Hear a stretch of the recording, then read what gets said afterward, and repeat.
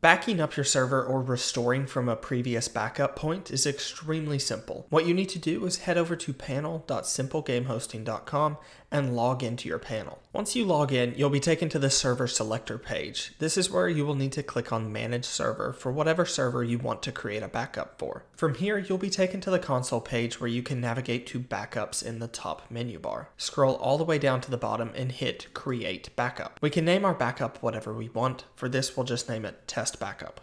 If there are any files or directories you want to include, you can type the name in here. And if you want to prevent this from accidentally being deleted, you can just select locked. Now hit start backup and you should see the backup begin down at the bottom. Depending on the size of your server, it may take a while before the backup is fully complete.